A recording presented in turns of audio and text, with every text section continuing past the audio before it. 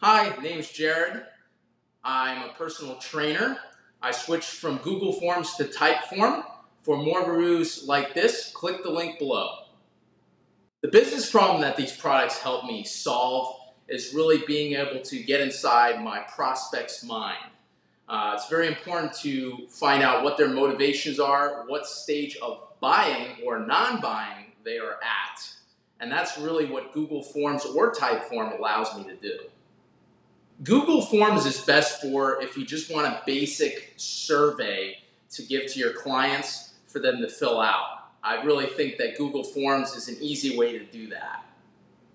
Typeform is more of an all-encompassing business solution. I feel that it has more options for the consumers such as myself to really get inside the customer's uh, or prospective customer's psyche uh, to be able to determine you know what exact level of need they are for your product or service. Uh, I feel like it is a little bit more complicated as far as that is concerned so I can really get inside my prospect's mind.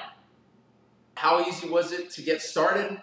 Fairly simple with both options. Uh, it just is a matter of knowing about the software, um, knowing about the websites, being able to uh, follow directions on the thing, and basically just implement it.